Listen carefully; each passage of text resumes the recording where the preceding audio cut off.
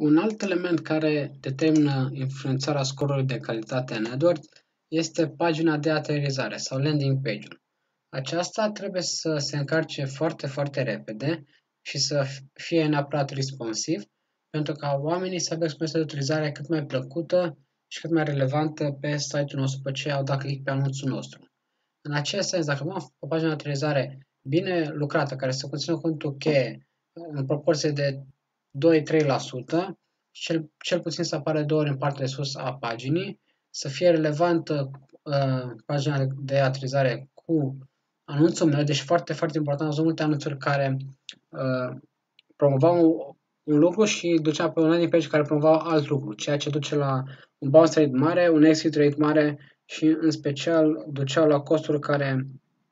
nu aduceau conversii. În acest sens, landing page-ul trebuie să fie să se încarce cât mai repede, cum am spus mai devreme, să fie responsive pe orice device, fie că este mobile, tabletă sau desktop sau laptop și pe lângă aceasta să fie relevantă acest, acest landing page să fie relevant cu ceea ce au căutat oamenii și cu cuvintele cheie pe care eu,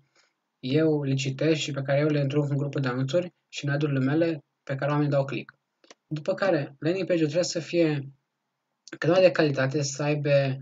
imagini relevante, să aibă text relevant, să aibă un call to action, să aibă, de exemplu, să aibă și un formular de preferat, pe oamenii să facă o acțiune după ce au dat click pe anunțul meu. Deci, oamenii văd anunțul meu, dau click pe el, după oamenii ajung pe o pagină de aterizare, după care uh, ei trebuie să facă acolo pe landing page o acțiune. Spre exemplu, să scrie un newsletter, să comande un produs sau să dea click pe înscrie-te acum sau whatever, ce o să vrem noi să fie. Deci neapărat să aibă un call to action și să dăm mai să facă ceva. Pe lângă aceasta, trebuie să aibă punctul cheie inclus, să aibă textul să fie cât mai aerisic, să nu uh, doară oamenii, să nu îi doară pe oameni ochii că atunci când citesc textul meu să fie prea mic sau prea mare, să aibă un contrast de culori foarte bine definit și foarte bine gândit, să ofere informații relevante pentru oameni. Spre exemplu, dacă facem promovarea unui magazin de mobilă și noi facem un anunț, un ad group legat de oferte la canapele, putem face un anunț cu acest cuvânt canapele sau ofertă canapele și așa mai departe, canapele și numele orașului nostru, după care adăugăm landing page-ul, deci un URL, URL-ul final pe care oamenii vor ajunge, să fie pagina de canapele, să nu fie pe altă pagină de mobiliere pentru bucătărie, mobiliere pentru dormitoare și mai departe, și oamenii se vor enerva și vor da back sau mai rău, vor închide browserul și nu vor mai da click pe anunțul nostru. În acest sens, Google își va da seama exact